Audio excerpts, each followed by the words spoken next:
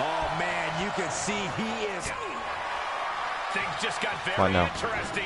It's Scarlett. And it looks like she has the North American Ooh. Champion's attention. One way or another, Doomsday is coming.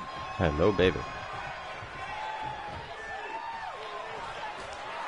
From behind, O'Connor roll takedown. Bridges back. This could do it.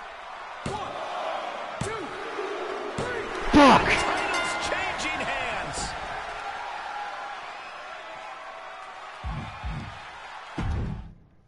Bollocks. The NXT North American Championship has quickly become one of the most revered titles in our industry. I got distracted by what does it mean sexiness.